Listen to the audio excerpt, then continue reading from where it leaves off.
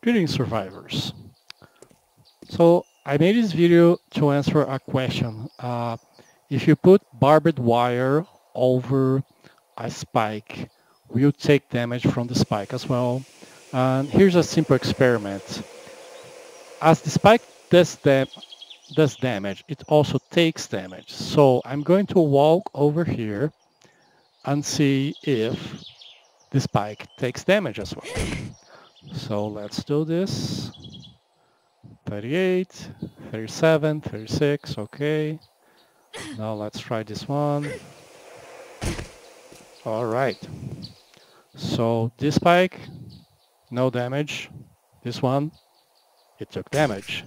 So the answer to the question is the barbed wire over the spike will prevent the spike from doing damage. And that's all.